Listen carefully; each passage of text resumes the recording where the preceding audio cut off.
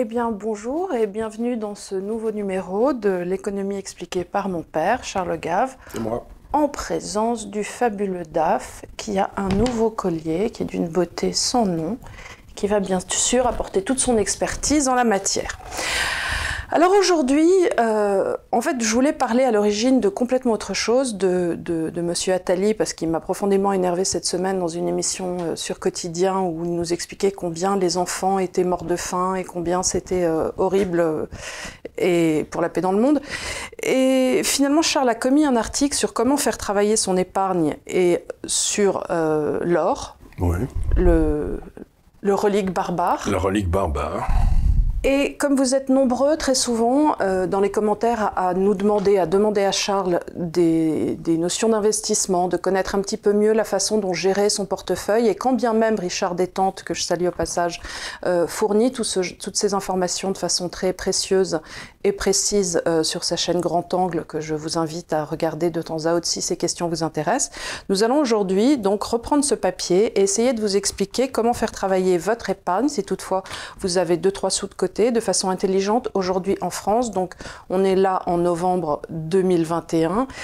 Qu'est-ce que vous devez faire Comment euh, ne pas être trop impacté par l'inflation qui arrive Et comment essayer de vous protéger un maximum euh, de l'inflation, des banques, de la BCE, euh, de, de, de, tout, de, tous les gens qui vous en veulent.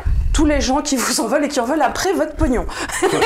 ils sont d'abord, ils, ils sont très intéressés par votre argent. Mais vous avez gagné difficilement cet argent, vous en avez mis un petit peu de côté.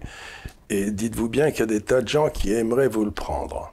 Donc il faut que vous réagissiez et que vous vous en occupiez. Donc ce que j'ai essayé de faire dans ce papier, c'est de revenir sur quelques idées qui me sont chères. C'est euh, en particulier la notion d'épargne. épargner, c'est dans le fond vous projeter dans le temps. Vous vous dites, euh, je suis là, aujourd'hui je gagne bien ma vie, ou je gagne ma vie, mais peut-être d'ici 20, 30 ans, j'en aurai besoin, je travaillerai moins et j'aurai besoin d'une espèce de matelas de sécurité qui me permettra de vivre jusqu'à la fin de ma vie. Et nos sociétés ont dit à beaucoup de ces gens-là, vous inquiétez pas les enfants, on va s'occuper de votre épargne. Et c'est ce qu'on a fait en France. Le gouvernement a monté une, une usine à gaz extraordinaire. Mais il faut bien vous rendre compte aujourd'hui que cette épargne qu'il vous paye, d'abord c'est vous qui l'avez mis de côté quelque part avec toutes les cotisations que vous avez fait et qu'ils l'ont investi de façon dramatique. Quand tu dis votre épargne, c'est les retraites? Les retraites, aujourd'hui, la façon dont les retraites officielles, mais ce que je vais essayer de dire, c'est qu'il y a les retraites d'un côté officiel qui en France vont appauvrir tout le monde, pour des raisons que je vais expliquer en deux secondes. Et puis vous devez avoir de l'autre côté, si vous pouvez, une épargne de précaution que vous gérerez vous-même, parce que si vous la confiez à l'État, vous serez ramené au, problème précédent. Et quand tu dis l'État, tu considères que si tu le laisses, euh, c'est-à-dire si tu la laisses, je sais pas, à la banque postale, au, crédit euh, agricole, non, si tu la laisses, si tu la gères toi-même à la banque postale comme euh, custodienne, comme gardien de ton épargne, ça, ça va très bien. Mais si tu souscris des points à la GIRC, l'ARCO, etc., ça va pas du tout parce que eux, ils sont obligés par l'État français d'acheter des obligations de l'État français. Donc, Mais ça, ça quelquefois, t'as pas le choix. T'en as dans ton panier retraite. ah ben, dans ton panier retraite, ton panier retraite, ton panier retraite, il est foutu. Tu peux pas il, euh, enfin, il est, il est euh, préempté. Il est préempté. Il y a, on peut rien faire dessus. C'est, on est, on est coincé. Donc là, il n'y a rien à faire. Donc je parle de la partie de l'épargne qu'on pourrait appeler l'épargne libre. On fait à peu près ce qu'on veut dedans, parce que ben, il est à vous, il est à vous. Et, donc, euh, et là, dans le fond, ce que vous devez faire, c'est que vous devez bâtir une espèce de d'outil, mais si vous pouvez le gérer, c'est pas tellement difficile. Vous devez avoir à peu près la moitié de votre argent qui est dans une fonction, j'appellerais agressive. D'accord c'est-à-dire ben, vous essayez d'attraper la croissance, la croissance euh, des sociétés qui sont bien gérées, etc. Donc cette partie-là, elle sera plutôt en action.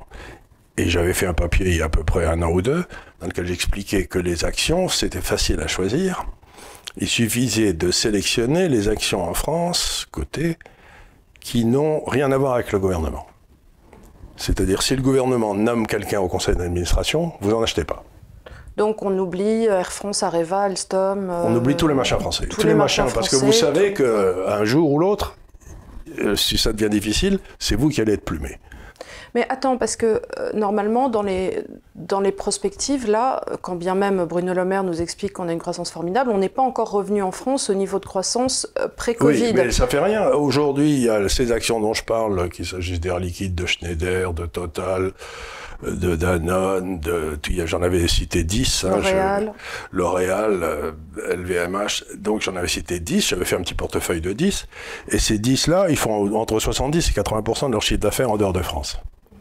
Donc vous êtes tranquille, euh, euh, le chiffre d'affaires n'est pas en France, qui est un pays extrêmement intéressant dans lequel il y a des affaires extraordinairement bien gérées comme celle dont je viens de parler, mais euh, vous ne pouvez pas espérer gagner de l'argent quand l'État est à 61% du PIB. Donc c'est même pas la peine. Vous savez que vous gagnerez pas d'argent. Donc ces gens-là ne gagnent pas d'argent sur, leur sur leurs activités en France.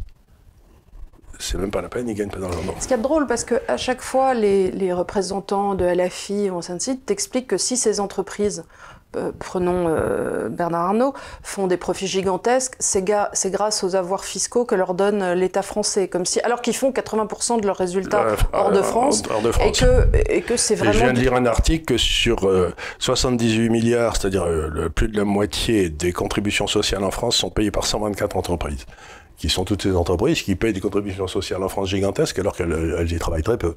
Mais c'est simplement parce qu'elles ont choisi de rester en France. Rien ne les force rien n'interdirait à M. Bernard Arnault de se faire coter à Londres. Et à ce moment-là, ça, voilà. Euh, donc, encore une fois, si vous voulez, vous avez des entreprises françaises qui sont extrêmement bien gérées et qui n'ont rien à voir avec l'État, vous mettez ça dans votre portefeuille, vous en faites 50%. Et grosso modo, vous essayez de garder le pourcentage à peu près le même partout. Si vous achetez 10%, euh, vous avez 10 entreprises, vous achetez euh, 10% dans chacune, comme ça, dans votre portefeuille. Ça vous fait un portefeuille qui est bien diversifié. Si on a une qui, je sais pas, LVMH qui monte beaucoup, qui devient 15%, vous la vendez pour ramener à 10%, puis vous achetez les, autres. Euh, donc vous vous débrouillez pour qu'il n'y en ait aucune qui devienne trop grosse par rapport à votre portefeuille, ce qui augmenterait la volatilité de votre portefeuille. Donc vous avez ce portefeuille action que vous gérez tranquillement, euh, vous le voyez une fois tous les trois mois, une fois tous les six mois pour rebalancer, puis c'est très bien.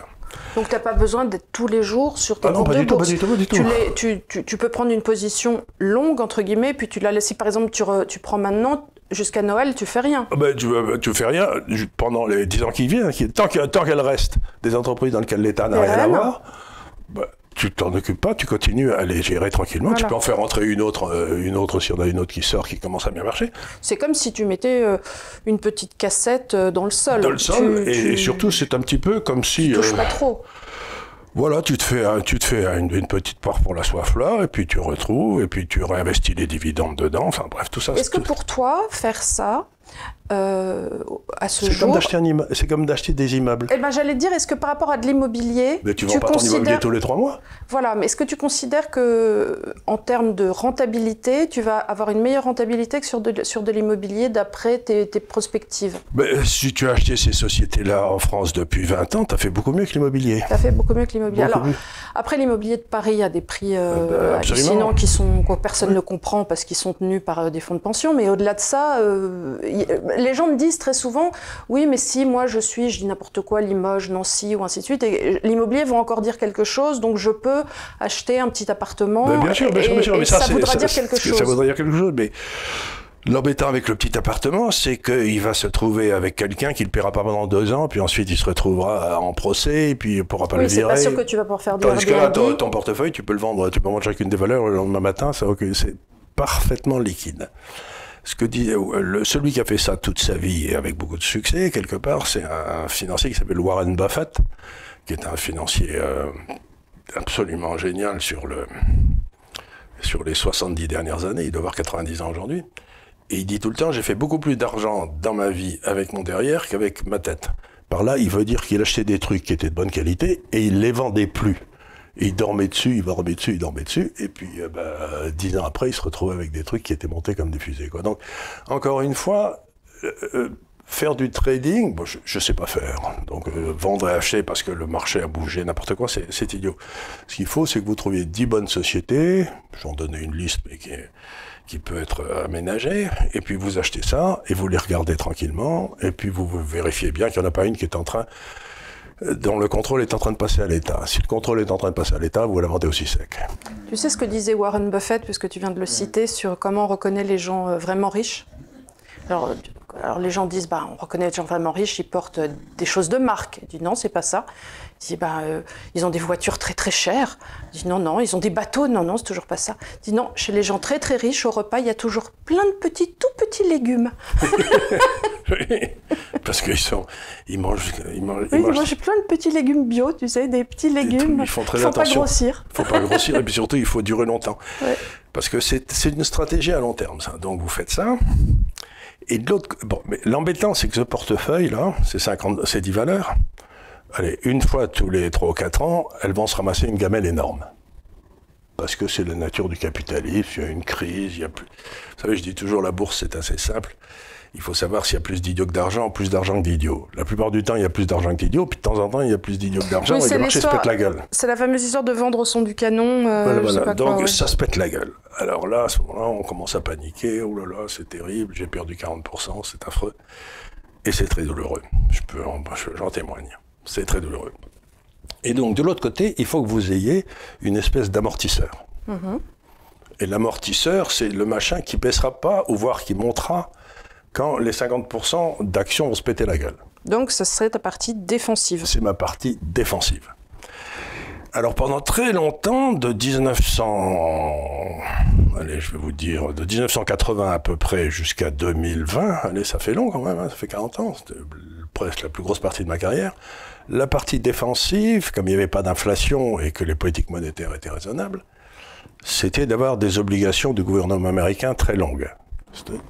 Parce que chaque fois que les marchés se pétaient la gueule, ça voulait dire qu'il y avait une récession, et les taux d'intérêt s'écroulaient. Et quand les taux d'intérêt s'écroulent, par un phénomène que tout le monde comprend, quand les taux d'intérêt baissent, euh, le prix d'une obligation monte.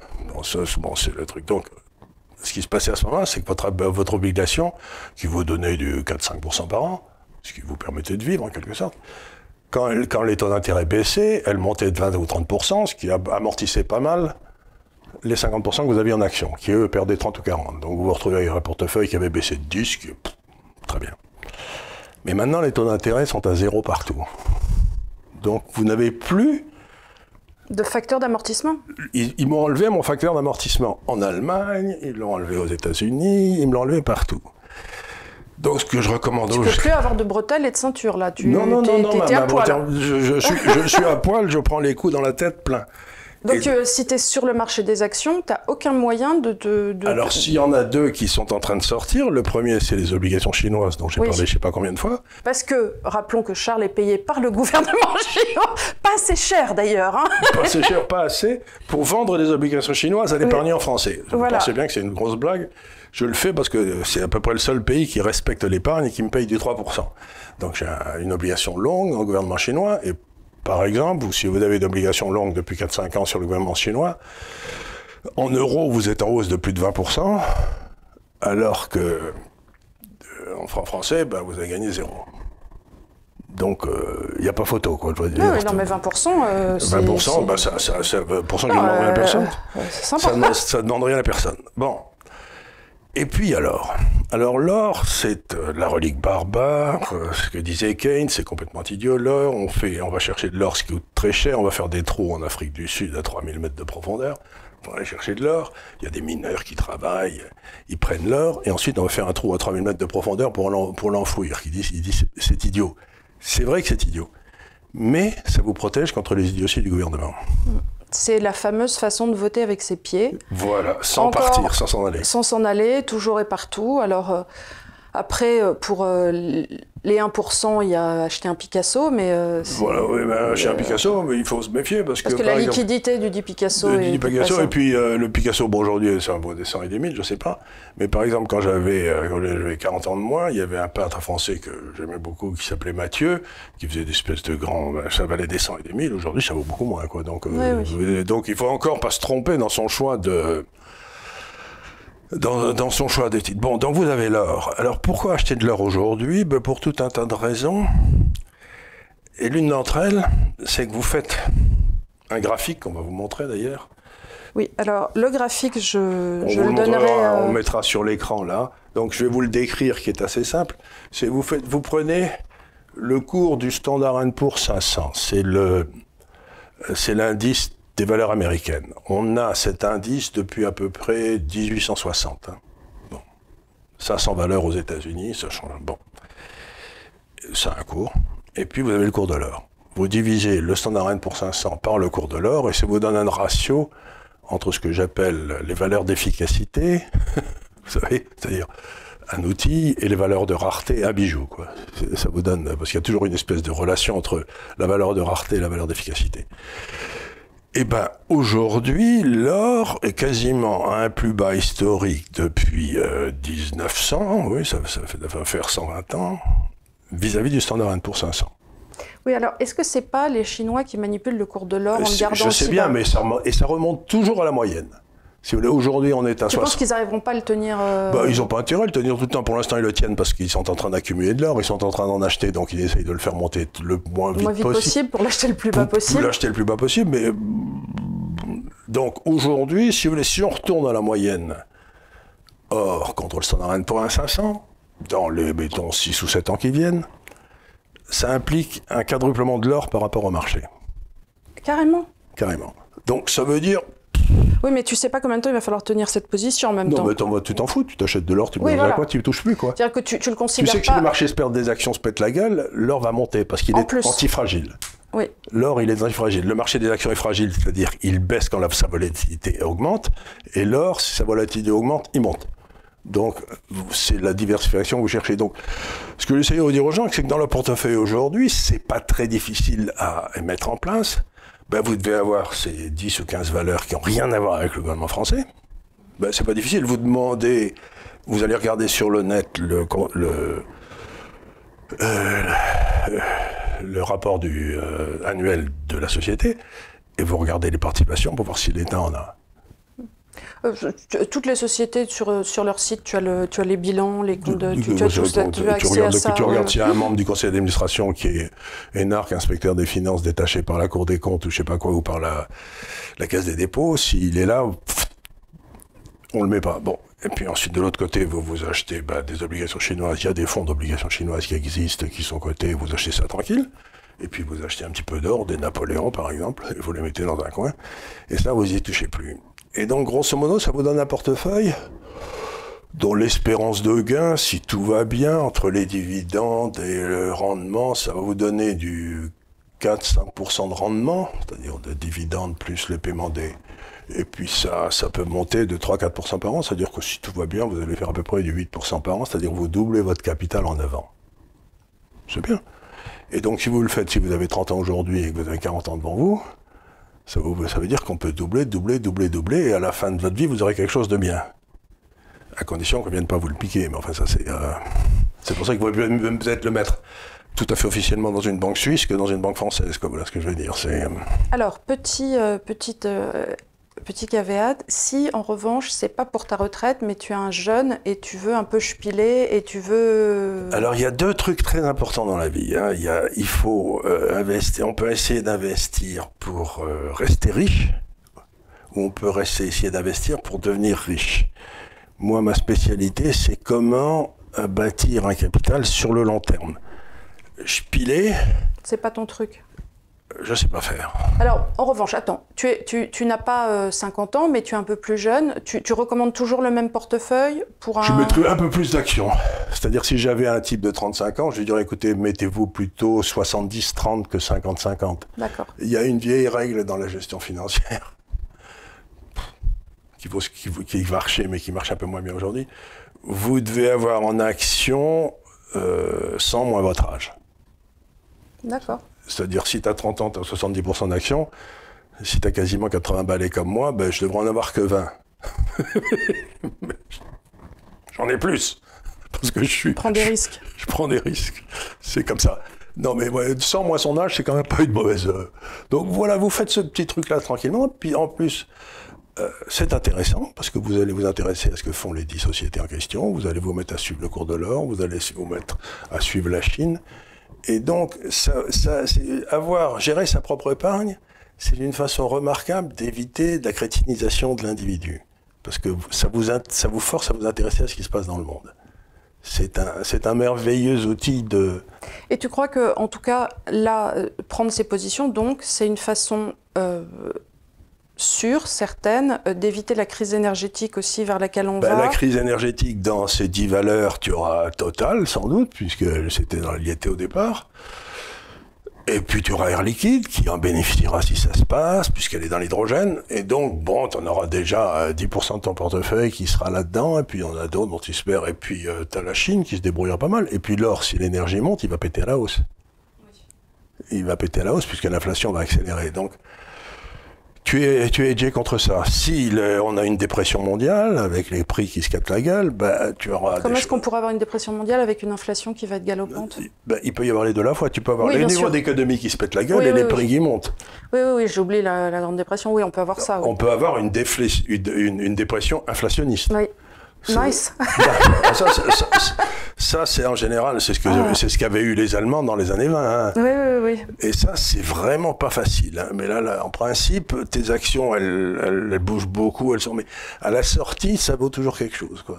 Et ça reprend. un- Si tu as acheté les bonnes valeurs, parce Si qu'encore tu une fois. les bonnes valeurs, euh, si t'as acheté les bonnes valeurs. Mais tu prends un gars qui a 20 ans en 1918, qui est en Allemagne, euh, qui a échappé à la Première Guerre mondiale, qui en est pas mort, euh, il veut se faire une retraite. Si lui, il s'achète de l'immobilier, il, il est bombardé, il n'y a plus bombardé à rien. Berlin, oui. Et il achète de l'or, il se retrouve dans un camp de concentration, on lui a piqué son or parce qu'il n'avait pas le droit ou j'en sais rien, on lui a piqué à un moment ou un autre.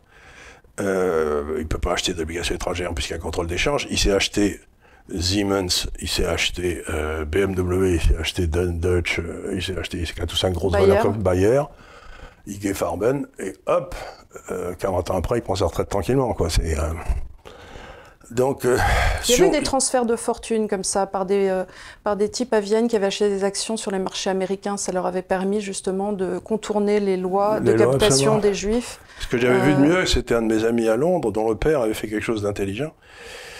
C'était donc un juif de Hambourg qui avait une banque depuis des temps immémoriaux. Et ce qu'il s'est- ce qu'il avait fait, c'est qu'il avait été brûlé. Il avait acheté des actions À qui internationales. étaient euh, en Ah, titre qui euh, était- qui physique, était- euh, euh, il y avait un au papier porteur, au des, porteur. des actions porteurs. Il avait acheté des actions porteurs de, de grands groupes américains ou de Shell.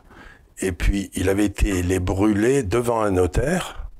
Le titre avait été détruit. Donc, le notaire lui avait fait un papier comme quoi le titre avait été détruit. Il s'est barré d'Allemagne. Il est allé à Londres. Il est allé au siège, au siège de Shell et on lui a refait ses actions. Et, donc, c'était quand même assez malin, ça. Mais enfin, maintenant, on peut plus détruire parce que c'est tout dans des ordinateurs. Oui, Donc, oui, mais ça, c'est les actions porteurs ont disparu euh, dans les années 70-80. 80, c'est ça. Mais avant, elles étaient physiquement, euh, la propriété de la personne qui les détenait, euh, propriété Euh, pareil. Et puis, il y avait, sur chaque action, il y avait des petits coupons que tu détachais pour toucher le dividende. Oui. Et, Et- à l'époque, les premières actions McDonald's étaient comme ça. Et il y avait justement, je crois, deux actions parmi les premières qui étaient perdues. Et il y avait une espèce de, de, de, de truc euh, où sont passées les actions Ouais. McDonald's qui aujourd'hui valent Euh, 2 milliards chacune. Voilà, c'est ça. euh, Et alors, ce qu'il y a de marrant, c'est que il y avait toute une partie de la fortune française qui était investie, par exemple, en Nestlé, au porteur dans des coffres en Suisse. Ah oui, Et donc, si tu veux, ben, on savait pas, quoi. ah oui.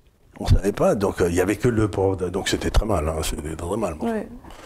Enfin, ce sont des choses qui arrivent. Il y a des, de temps en temps, il y a des gens qui, qui ont des actions porteurs, mais c'était assez facile avec des actions porteurs.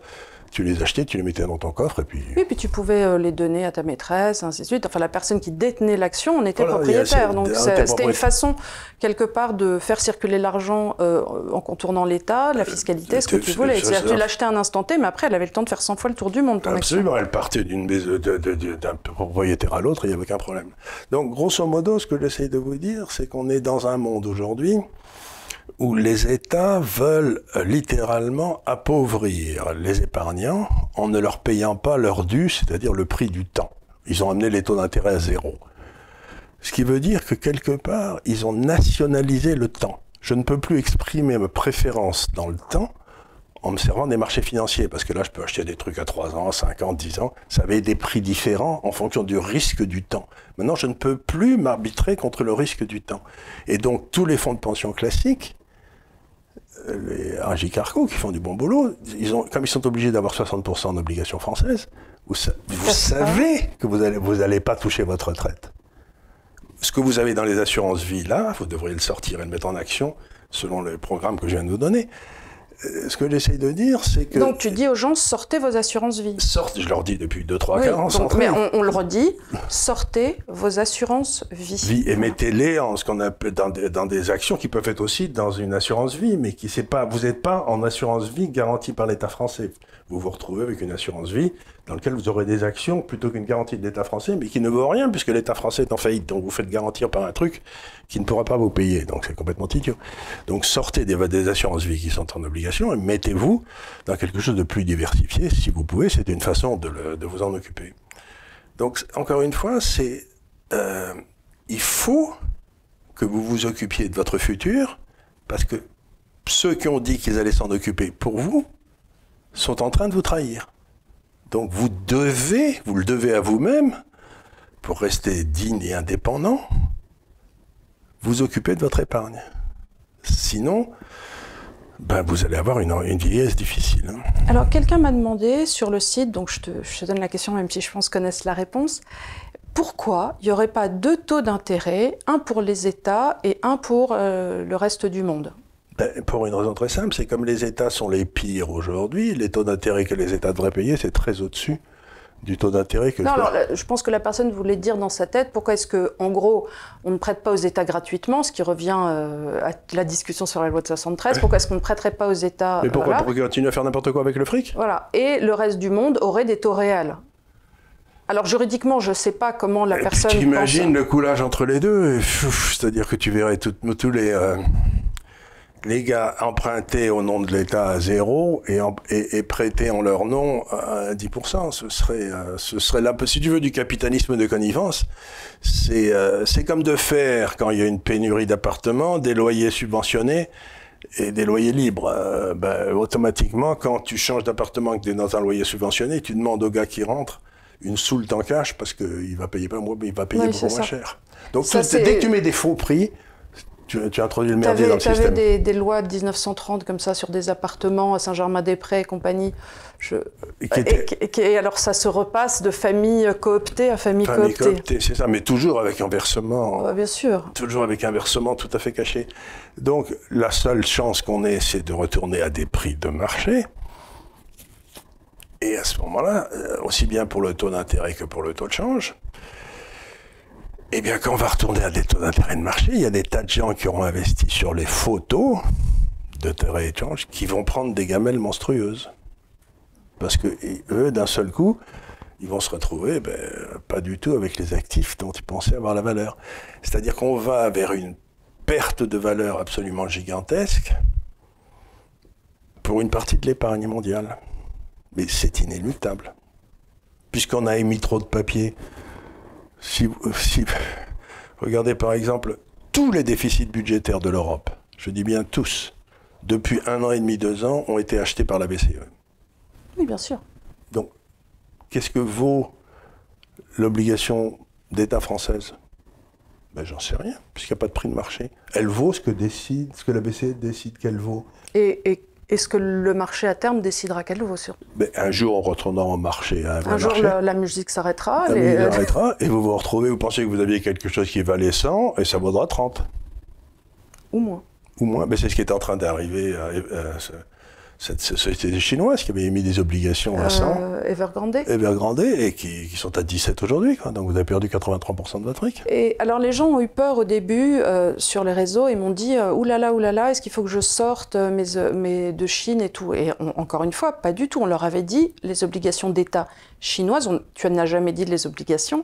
C'était toujours les obligations d'État. J'ai jamais, jamais parlé d'action, j'ai dit les obligations d'État. Et j'ai dit un autre truc. Si Evergrande fait faillite, si on la laisse faire faillite, c'est une excellente nouvelle pour la monnaie. Ça veut dire qu'entre la faillite de la deuxième société immobilière en, en Chine et le maintien de la valeur de la monnaie, les Chinois choisissent le, le, le, maintien de la valeur de la monnaie. Et ce faisant, explique aussi au marché que si vous voulez faire des leviers gigantesques et pas gérer vos sociétés de façon pérenne, eh ben c'est bien fait pour votre gueule. Tu, un peu, on perd 100%. On perd 100%. Donc euh, à vous, épargnants et à vous, gestionnaires, de faire en sorte de gérer de façon intelligente. Bah, sinon, nous, en tout cas en tant qu'État, on s'en fout complètement. Débrouillez-vous bien, euh, c'est pas notre problème. Donc, les Chinois, aujourd'hui, acceptent la création destructrice. C'est-à-dire quelqu'un qui gère mal les actifs qu'on lui a confiés, eh ben, il est ruiné. Mais ça ne veut pas dire que les actifs disparaissent. Les immeubles Cabatier Vergrandet, ils sont toujours là, mais à la place d'être vendus à 100, ils vont être achetés à 20 par un gars qui les finira et qui les vendra ensuite. Et donc, il y a... Si toutefois il y a la demande, parce que d'après ce que j'ai compris, il y a eu aussi des, endroits où ils ont fait des immeubles et personne ne va habiter là-bas. Donc, il y a un moment où si tu as plus d'offres que de demandes, tu vas et pas... Ben à ce moment-là, tu as mal fait et tu, tu sautes.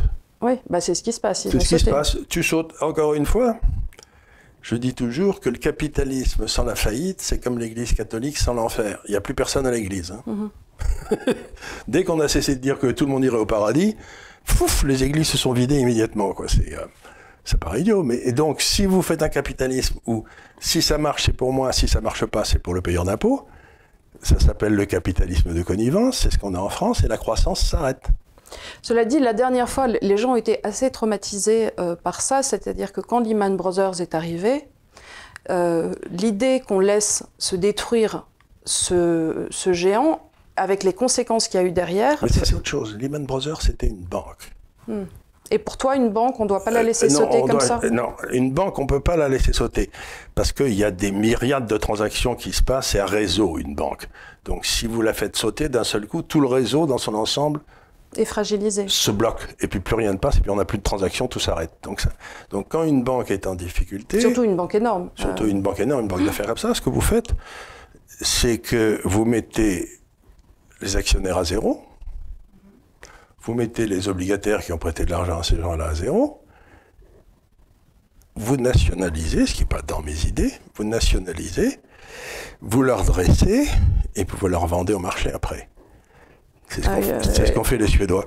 Ça prend quoi 4-5 ans? Ça prend 4-5 ans et en général, vous vendez à cette fois ce que vous avez mis dans la banque au départ. Si tu as des gestionnaires propres. Si, ben, si tu as des en principe, une hmm. banque, c'est. Donc, encore une fois, une banque, c'est pas pareil parce qu'une banque, elle peut, la destruction de la banque peut détruire de la monnaie. Mhm.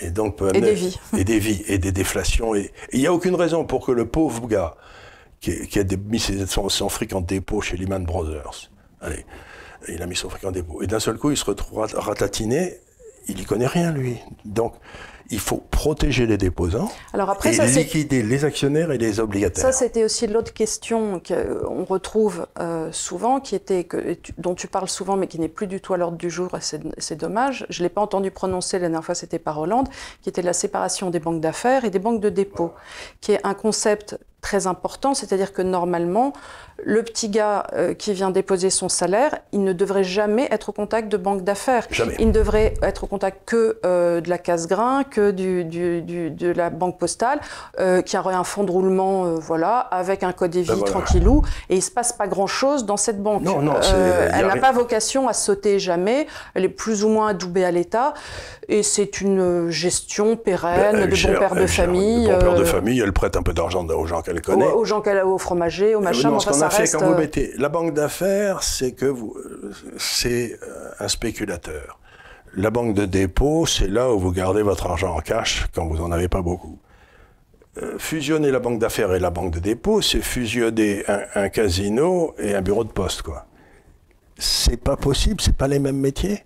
Donc la banque d'affaires, elle doit rester bien dans son coin là-bas, prendre des risques essentiels, et si ça marche pas, les associés, les actionnaires perdent tout. Mais le gouvernement, la rachète à zéro s'il faut pour éviter cette espèce de pour protéger les gars qui seraient en dépôt chez elle. Mais c'est pas du tout le même métier, c'est deux métiers différents. Il y en a un qui est la banque et l'autre qui est la finance. Moi, j'ai toujours été un financier, j'ai jamais été un banquier. Et ce que me disait M. Gutzwiller, j'ai dû le raconter ici, qui était un homme pour lequel j'avais une grande estime. Il était banquier à Bâle depuis 1240, je crois, donc il a une petite idée de ce qu'était la banque. Elle existe toujours, la banque Gutzwiller Bien sûr, mhm. bien sûr. Et à l'époque, quand j'étais copain avec M. Gutzwiller, qui avait 40 euh, ans de plus que moi, euh, ils étaient responsables sur l'ensemble de leurs biens. C'est-à-dire qu'on euh, pouvait aller chercher, si la banque avait des difficultés, la, maison, la, maison, les domaines, l'argenterie, tout. Donc ils faisaient très peu d'erreurs, hein, parce qu'ils ne prenaient pas beaucoup de risques, mais ils faisaient très peu d'erreurs. Et donc, le, monsieur Gutzwiller me regardait un jour comme ça, m'a dit Charles, si jamais un jour vous devez vous occuper de banque, je vais vous faire un, je vais vous donner un conseil un son. Hein. Vous ne prêtez jamais d'argent à des gens qui en ont besoin. je m'étais dit, il a tout compris. on ne prête de l'argent quand on est un banquier convenable qu'à des gens qui n'en ont pas besoin.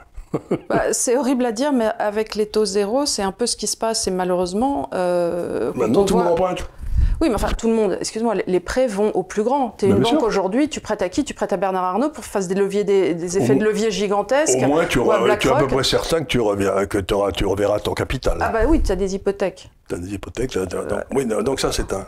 Donc, grosso modo, c'est... Ça revient à dire on, ne prête qu'aux riches. Voilà, on prête qu'aux riches. Mais c'est exactement ça. Ce que j'essaie de dire à nos auditeurs, c'est... Euh, si on a créé l'Institut des libertés, si j'ai aidé... Euh, ce brave Richard Détente, etc., qui fait un boulot remarquable, c'est parce que je pense que les Français vont avoir besoin de quelqu'un qui les aide à gérer leur épargne et qu'il n'y a personne dans le système qui fait ça. Vous allez à votre banque, vous allez tromper. Moi, par exemple, j'étais à ma banque euh, il y a 2-3 ans, j'avais été convoqué, on m'a dit, monsieur, vous avez de l'argent et on voudrait connaître quel est votre profil de risque. Alors j'ai dit, ben, montrez-moi quelle est votre grille d'analyse des risques. Mhm. Alors ils m'ont montré, le, le truc le moins dangereux, c'était des obligations de l'État français. oui, j'ai dit, bon, à partir de là, on va avoir un problème à communiquer. je, leur ai dit, bon. Bon, alors. Euh, donc, si vous allez à votre banque et vous, vous leur dites, je veux pas prendre de risques, ils vont vous coller des saloperies de l'État français à 70 ou 80% de votre portefeuille. Oui, au contraire, il faut leur dire. Parce qu'ils y sont obligés de par la loi. C'est pas qu'ils sont malhonnêtes, c'est qu'ils y sont obligés, c'est ce qu'on leur dit. Donc il faut en fait aller voir son banquier en lui disant écoutez, je veux prendre des risques, je voudrais des actions d'air liquide.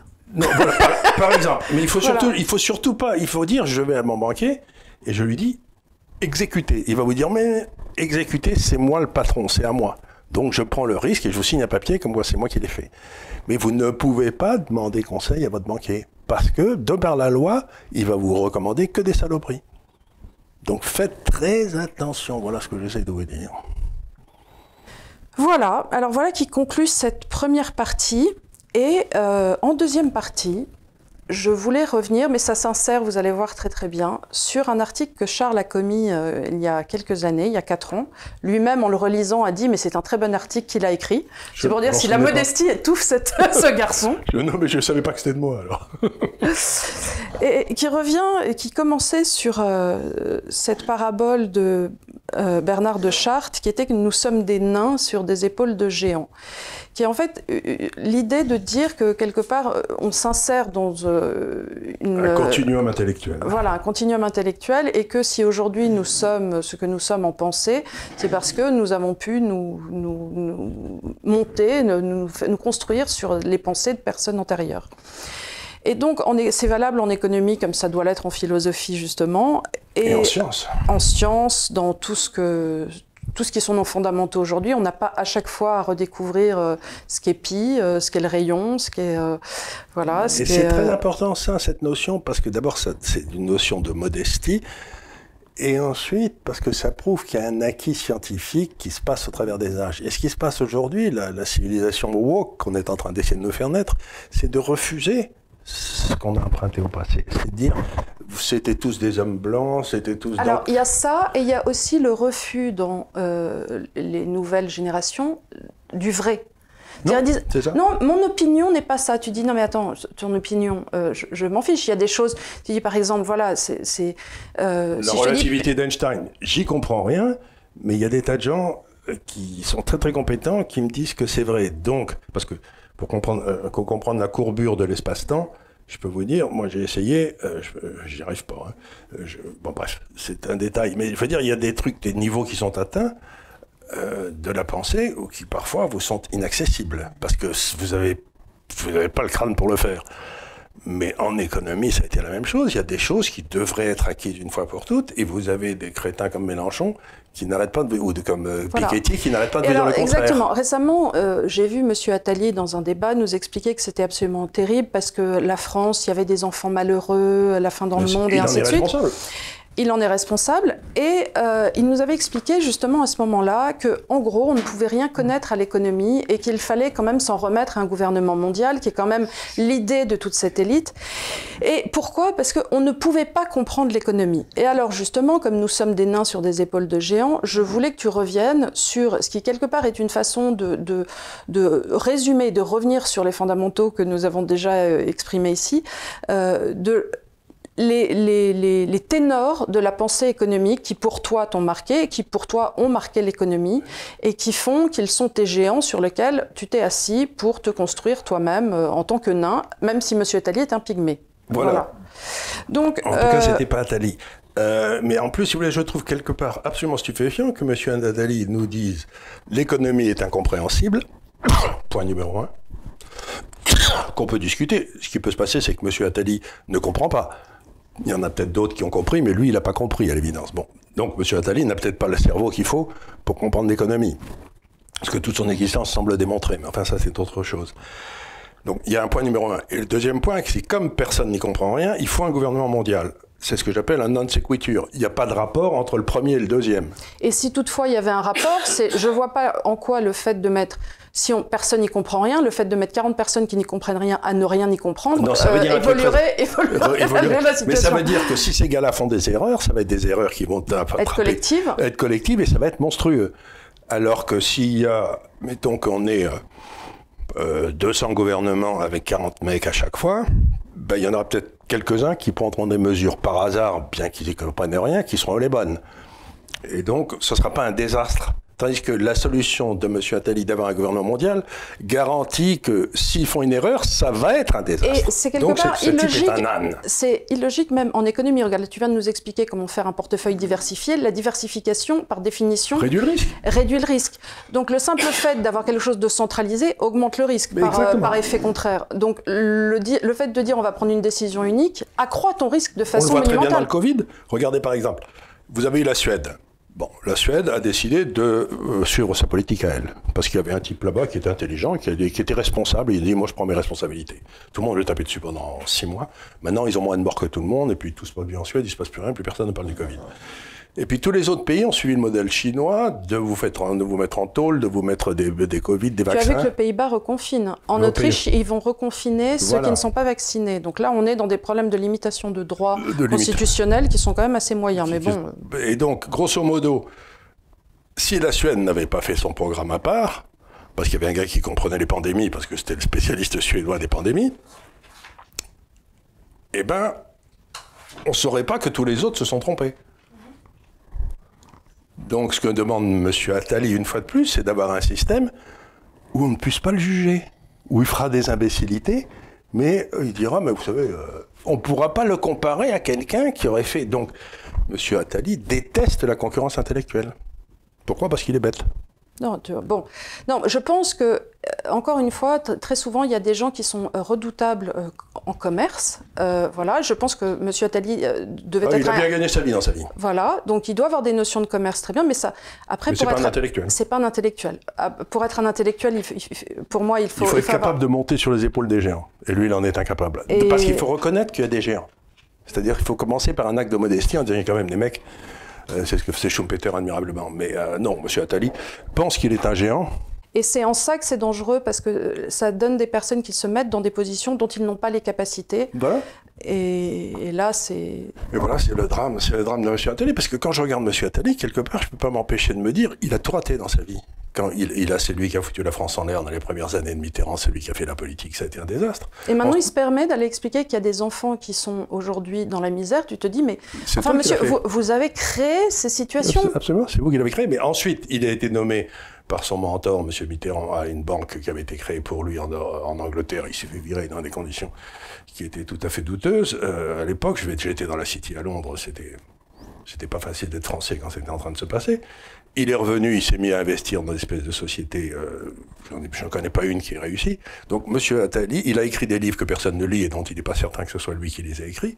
Donc, il est trop occupé pour les lire. Il est trop occupé pour les lire, peut-être pour les écrire.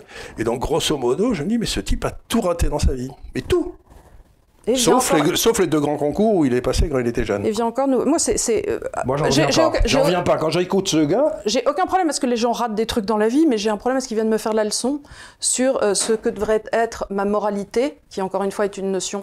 Et puis c'est tellement facile de venir dire Oh, les pauvres petits enfants qui sont. Je dis Mais de quel droit, de quel... Que Mère Teresa vienne faire ça, oui. Que Coluche, à la rigueur, une fois qu'il a fait les rexes du cœur, oui. Mais tu te dis de, quel droit? Coluche, il venait aussi de, du Carmonde, hein. il venait de. Ça. Mais il, savait ce que c'était d'avoir faim. Et, et, moi, je, je, n'entends la morale qu'une fois que, que, de pas la part de personnes qui se lèvent le matin pour faire quelque chose. Qu'on me dise depuis le boulevard Saint-Germain c'est terrible la fin dans le monde, je rigole. Ça, je me dis mais enfin dans ces cas-là, si tu te bats, tu ouvres les restos du cœur, tu fais ça, tu, tu, relèves tes manches, là oui tu as droit à la parole. Sinon, sinon tu la fermes. Absolument. Sinon c'est insupportable. Et alors donc les quatre géants. Donc, alors revenons. Alors après, ça commençait par le suédois euh, Wixel. Wixel. Alors Wixel, bon c'était un suédois. Euh, qui était un gaucho pas possible. Très souvent, d'ailleurs, les gars que, les gars que j'aime bien sont des gauchos parce qu'ils étaient un petit peu. Ils pensaient pas comme tout le monde. Mais la gauche d'autrefois, c'était pas la gauche d'aujourd'hui. La gauche d'aujourd'hui, non. C'était une gauche qui. Euh, et donc, ce que disait Wixel, c'est dans le fond, toute l'économie marche par la relation entre deux taux d'intérêt. Vous avez la rentabilité des affaires. Tout le monde commence ça. Vous gagnez du 8%, allez, dans votre capital, hein, vous, gagnez 8%. Et le coût du capital. Bon, alors, Wixel disait si le coût du capital est à 12 alors que la rentabilité des affaires est à 8, personne ne va investir. On va en dépression. Tout le monde rembourse, personne n'investit, l'économie se plante. Par contre, si le taux d'intérêt est à, est à 0 et que la rentabilité du capital est à, est à 8, tout le monde va emprunter pour acheter des affaires qui donnent du 8, mm-hmm. mais qui existent déjà. Donc plus personne ne fera de nouvelles affaires, donc ça créera une spéculation financière monstrueuse, le prix des actifs va monter de façon extravagante, et puis comme personne n'a investi, à un moment l'économie se viande, et personne ne peut rembourser la dette, et c'est la cata. Donc ce que dit Vixel, c'est il faut que la Banque centrale maintienne l'intérêt si la rentabilité est à 8, à 7,5. Comme ça, on n'emprunte que ceux qui gagnent 8, 8,5, 9, 10, 11, 12. Et puis les autres iront. Bon, ça, donc ça va très bien. C'est le premier VIXEL. J'ai bien compris la relation entre le, la rentabilité du capital et coût du capital. C'est ce qui détermine le cycle dans le système économique. Et il le montre parfaitement. J'ai fait des tas de travaux sur VIXEL, je m'en sers. On a des articles sur le site aussi, on a si des vous articles sur le site. J'ai écrit vous aurez- un livre, vous pouvez me le demander, c'est en anglais, qui est 5 ou 6 ans, mais qui n'a pas perdu une ligne. Qui n'a pas vieilli. Pris une ride Pris une ride, pris une ligne, oui. Enfin, des lignes. Ça vient de l'américain, c'est line. Bon, ça, c'est Vixel. Le deuxième, qui est très intéressant, c'était un gars qui s'appelait euh, euh, Le- le- Minsky. Oui. Alors Minsky, lui, il disait, dans le fond, c'était un économiste qui est mort il y a 5-6 ans. Il aurait pu avoir le prix Nobel. C'est pas un très grand, mais il a parfaitement compris le cycle financier. Donc, il a, pour moi, financier, c'était important. Donc, mais, mais c'était pas un conceptualisateur, mais enfin, c'était un type un- un très intéressant quand même. Alors, Minsky, il y a l'autre qui ronfle là-bas. hein. Euh, non, mais là, il nous fait un concert. C'est. euh, Tu te rends compte que je vis ça la nuit, moi. hein. En tout cas, il ronfle très bien. Donc Minsky disait Le un truc assez marrant. Il disait au début, dans un cycle, les gens empruntent et font leurs calculs pour pouvoir servir la dette, c'est-à-dire payer les taux Mmh, les d'intérêt. taux d'intérêt. Et puis ensuite, quand euh, la dette arrive à échéance, que leurs affaires aient progressé suffisamment pour rembourser le capital sans difficulté. Donc, grosso modo, c'est un système stable. Bon. Puis, ils se rendent compte que dans le fond, pff, ils vont peut-être pouvoir réemprunter le capital à la fin. Donc, ils se disent, ce que je vais faire, c'est que je vais juste faire mes calculs pour pouvoir servir la dette. Et puis, on verra bien d'ici 10 ans comment je la rembourserai. D'accord. Donc, donc à ce moment-là, euh, ça veut dire que le niveau des emprunts augmente terriblement et que la valeur des actifs monte, parce que tout le monde achète des actifs sans trop. Par exemple, moi, moi j'ai acheté le bureau dans lequel on est, j'ai pris un emprunt à 10 ans et je remboursais le capital dans 10 ans et je serre la dette. Donc je me dis dans 10 ans, on verra bien ce qui se passera, on revendra le bureau, on verra bien. toi. Donc je suis, je fais partie de la deuxième catégorie, mais en même temps, le service de la dette que j'ai sur ce bureau aujourd'hui est moins élevé que le lo- loyer que je payais dans le pré- pré- précédent. Donc je me dis bon, bon, je vais m'en sortir, on verra bien. Donc je ne me fais pas trop de soucis. Mais je suis dans une position spéculative. Je me suis mis dans une position spéculative. Et le troisième, c'est de dire j'emprunte, j'achète l'actif et je vais il va monter au moment où je l'achète, mais je vais trouver un couillon qui va me l'acheter plus cher dans un ou deux mois, ou dans six mois, ou dans un an. Donc je fais du portage, et puis je lui revends, et je prends l'argent, et je rembourse tout, et je suis Ça, c'est ce qu'ils appellent aux États-Unis flipping. Flipping, c'est-à-dire que tu, tu fais du flip de l'immobilier. Tu achètes de l'immobilier, mais c'est pour le revendre tout de suite En après. général, ils font deux, trois travaux pour que ça soit au goût du jour, un Euh, peu de voilà, homestaging, et et boum, on flippe boum. l'appart. Jusqu'au moment où tout le monde ayant fait ça, ben, il n'y a plus personne à flipper avec personne. quoi. Je veux Ouais, dire, il n'y a plus personne, il n'y a plus, a c'est, euh, d'acheteurs. Ce qui s'est passé en 86. C'est ce qui s'est passé en 2000, euh, 2008-2009, c'est ça, c'est tout le monde achetait l'immobilier jusqu'au jour où il n'y a, a, plus d'acheteurs. Ça, c'est un peu le mistigris, tu sais.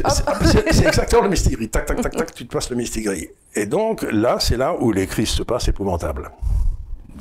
Et ça ressemble beaucoup à des analyses qu'avait fait un autre économiste américain que j'aime bien, qui était euh, euh, Fisher, Irving Fisher, qui avait décrit le même mécanisme avec la dette, mais de façon très Fisher qui a écrit au moment de la grande crise américaine. en 1934, il avait écrit The Debt Deflation Theory of Great Depressions. S'il y a des petits jeunes qui m'écoutent, allez chercher cet article sur le web. Il explique remarquablement ce qui s'est passé au Japon et des trucs comme ça. Les, mécanismes déflationnistes. Les, les mécanismes déflationnistes, c'était très, très très bien décrit. Bon, donc ça, c'était Minsky, c'est le deuxième.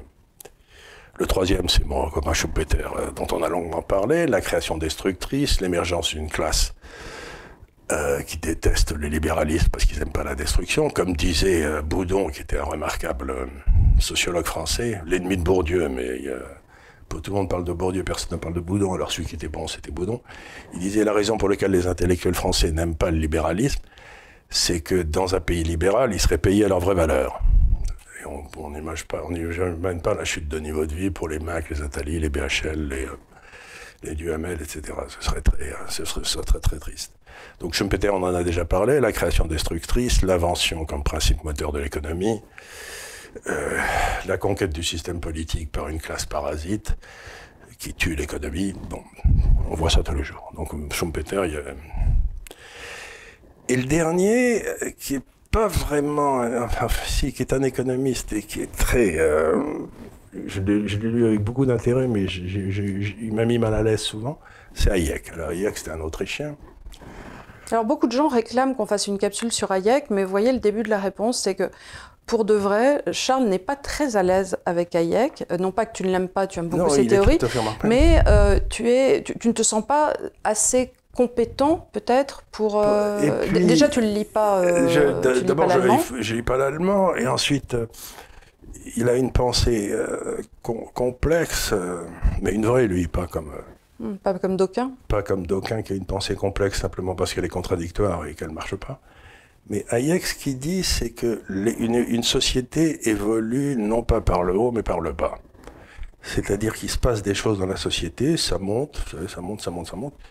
Et les gens s'emparent du problème. Prenez l'exemple de la peine de mort. Personne n'en discutait il y a trois ou quatre siècles. Et puis petit à petit, on s'est dit, mais c'est peut-être pas bien. C'est monté à l'intérieur de la société. Ça a attrapé le corps social, puis le corps électoral. On a fait passer des lois. Et donc, les, les, progrès viennent toujours du bas. Et c'est une espèce de lente maturation. Et c'est l'exemple parfait, c'est le droit britannique, qu'on appelle le common law, qui n'est dans le fond que le résultat de décisions de jurisprudence, et qui, font un corps de doctrine.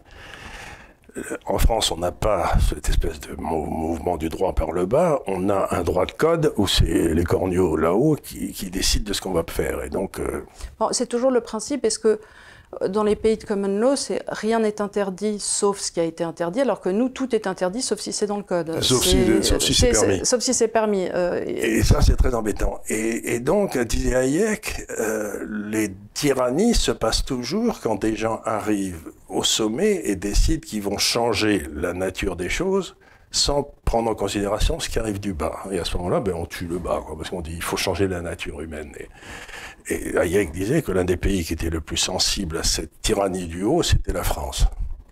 Et celui qui était le moins sensible, c'était probablement l'Angleterre, où ça venait que du bas. C'est pour ça qu'on a toujours eu cette vieille euh, antinomie entre la France et l'Angleterre. Et donc, ces quatre-là, euh, si quelqu'un veut comprendre l'économie, comprendre la finance, comprendre la façon dont le système politique un système politique devient mûr et change petit à petit même l'économie, mais, mais lentement, sans, euh, il me semble, sont vraiment des géants. On peut vraiment se mettre sur leurs épaules, les lire, les méditer. Et la façon dont je travaille, mais je suis pas du tout euh, certain que ce soit vrai pour les autres, c'est que je lis un livre, et puis il y a des moments où c'est... c'est idiot ce que je vais dire, mais il y a des moments où quand vous lisez ces gars-là, c'est tellement excitant intellectuellement que vous êtes obligé de vous arrêter. vous voyez, vous dites, je peux plus, quoi. il faut maintenant que je me, je laisse ça mûrir. Alors vous reprenez. Moi, ça me fait ça quand j'ai un livre que j'aime vraiment trop et je veux pas qu'il s'arrête. Du coup, je lis pas la fin. J'ai eu ça pour euh, L'amie prodigieuse d'Elena Ferrante. Je voulais tellement pas le finir, ce livre, que je ne l'ai pas fini. Hein. J'ai toujours 100 pages à lire parce que je ne peux pas prendre la décision psychologique de finir, finir. Mais là, c'est pas ça, c'est qu'il la charge intellectuelle de ce que ces gars-là vous disent est tellement forte que euh, il faut que votre esprit l'absorbe lentement. Sinon, vous allez attraper une cuite. Quoi. C'est, euh, une cuite intellectuelle. Et donc, c'est ce que je fais, puis je les relis, puis je, me dis, tiens, j'ai pas pensé à ça. Et je me rends compte, euh, deux ou trois ans après, quand j'écris un papier, que je ressors des idées euh, qui me viennent de là et que j'avais pas avant. Quoi. Donc, il faut que ces idées, vous les preniez, qu'elles mûrissent avec vous, que vous les laissiez mûrir. Il y a, il y a un temps, il y a un temps comme dans, dans la, il y a un temps pour mourir, il y a un temps pour naître, il y a un temps pour semer, il y a un temps pour récolter. Et, donc là, c'est exactement ça. Ce sont des gens qu'il faut lire avec parcimonie. Parce qu'ils sont très violents intellectuellement, très... C'est comme de recevoir un coup de coin dans l'estomac quand vous les lisez.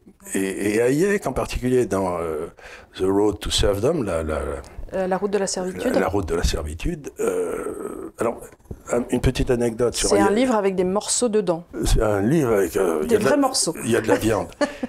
Et alors, ce qu'il y a de marrant, c'est donc, il était un économiste de l'école autrichienne qui est spécialisé sur le capital, etc. Bon. Il est allé en Angleterre, puis il est allé, où Keynes l'a beaucoup aidé d'ailleurs, il est allé aux États-Unis ensuite. Il a écrit ce livre qui a été un, un succès mondial, mais qui était un vrai succès mondial, mais qui a été plutôt un livre de sociologie d'économie. Et donc, il est allé à Chicago pour essayer de devenir professeur d'économie, là où il y avait mhm. Friedman. oui, dans l'école monétariste. dans l'école monétariste. Et ils l'ont pas pris. Ils ont dit non, non, c'est pas un livre d'économie, vous n'êtes pas un vrai économiste, vous êtes un sociologue, vous allez aller dans la faculté de sociologie qui est là-bas. Quoi. La honte. Oui. oui, mais c'est marrant que moi, j'ai toujours pensé que l'économie, c'était une branche de la philosophie, et qui était d'elle-même une branche de la logique.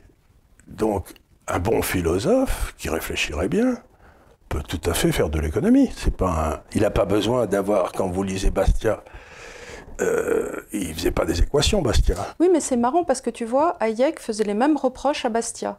En lui disant, ça n'est pas assez un économiste. Voilà, c'est ça. Euh, quelque part, il fait pas d'économétrie, ça va pas du tout. Ça, c'est quelque chose qu'on peut pas reprocher à Milton Friedman, au contraire, qui lui euh, euh, savait faire des équations, des ah, statistiques. des statistiques, il a même inventé un théorème en probabilité qui s'appelle le théorème de Friedman, et personne ne sait que c'est le même Friedman qui l'a fait. Donc, Donc cette espèce de truc est économiste, celui qui réfléchit sur comment parce une société traite les problèmes de la rareté. Alors, parce que si on devait juger Piketty à l'aune de cela, dans ces cas-là, lui non plus ne serait pas un économiste, puisque lui non plus. Ben lui, il a accumulé des chiffres. Oui, mais on, ne sait pas d'où il les sort. Non, mais alors attends, pardon, mais les chiffres, on ne sait pas d'où il les sort. On sait pas les sort. Puis ensuite, quand, on, quand on lit Piketty et qu'on connaît Bixel, on se dit, Piketty ne comprend rien à l'économie puisqu'il pense que c'est la même chose. La rentabilité des entreprises et le taux de croissance des bénéfices. Et donc c'est une erreur. Mais la première page, j'ai lu la première page, je me suis dit ce gars-là ne comprend rien, donc je suis passé à autre chose. J'ai pas lu le reste. Voilà. Donc, grosso modo, vous pouvez lire, et une fois que vous aurez lu ces quatre passages, vous pouvez lire des résumés qui sont très bien faits sur, sur Parce que Wixel, c'est quand même euh, ardu pour qui n'est pas intéressé par la chose économique. Autant tu peux lire euh, La route de la servitude, euh, parce que effectivement, ça relève plus d'un manuel de sociologie, de, compréhension du monde. C'est pas aussi facile à lire qu'au boudon, mais ça se lit quand même. Ça se lit très bien. alors que tu peux pas lire Wixel, franchement. Wixel, surtout qu'il écrit en allemand et qu'il a inventé des mots à lui dont il faut trouver la, et trouver la traduction aujourd'hui dans le langage de tous les jours. Donc il a par exemple des noms différents. Il a le taux d'intérêt naturel et le taux d'intérêt de marché. Bon, il faut savoir que là c'est la rentabilité du capital et l'autre c'est le coût du capital. Mais il a des noms à lui. Donc alors vous, vous arrachez un peu les cheveux. Il faut, il faut, que tu te fasses une grille de lecture avant, et que tu il faut que tu aies un dictionnaire pour savoir ce que dit Big Pixel quand il fait quoi. Non mais ça, ça Irving Fisher, même, même remarque, c'est quand même très très euh, mathématiques appliquées. Minsky c'est facile. Minsky, c'est assez facile. Et, euh, je ne sais pas si ça va être traduit. Le, Minsky, Moment, je ne sais pas si ça a été traduit. Il faudrait que je regarde, mais je ne suis pas sûre. Je, suis toujours surprise du, des, des non-traductions. Après, il y a eu un véritable effort chez les libéraux qui ont traduit spontanément des choses. Donc, quelquefois, on peut trouver, mais c'est en PDF. Et je sais que les personnes peuvent avoir du mal à lire en PDF encore. Euh, c'est vrai que c'est pas pareil qu'un livre, ça je. Voilà. pas pareil qu'un livre. Et surtout, on ne peut pas la noter. On ne peut pas la noter, voilà. On ne peut pas la euh, noter. Et on ne peut pas le mettre dans sa bibliothèque et l'oublier là. Non, mais c'est. pas le retrouver. bon, écoutez, en tout cas, euh, je suis contente parce qu'on a réussi quand même à donner euh, des, Oui, on va tenir l'heure, à donner des pistes euh, aux gens qui aimeraient se protéger, protéger leur épargne, et aux personnes aussi qui souhaiteraient réfléchir sur ce qu'est l'économie. et, sur toute l'épargne, encore une fois, vous pouvez aller avec profit sur le site de Richard Détente. Voilà, qu'on a cité au début. Qu'on a cité parce que c'est bien, il fait du très bon travail. Voilà. Et je vous remercie encore une fois de nous avoir suivis, malgré, euh, je ne sais pas si vous allez entendre, parce que nos micros sont sur nous et ils ne sont pas en extérieur, mais il nous a fait un boucan, mais de tous les diables. Donc on te réinvitera plus en deuxième semaine. T'es beaucoup trop méchant. Voilà. Et sinon, merci encore de nous avoir suivis. N'hésitez pas à mettre des petits commentaires, à suivre notre, notre euh, page Instagram désormais, qui est Institut underscore des libertés underscore, donc sur Instagram, et nos pages Twitter et Facebook aussi. Merci beaucoup de nous suivre. À bientôt. Merci.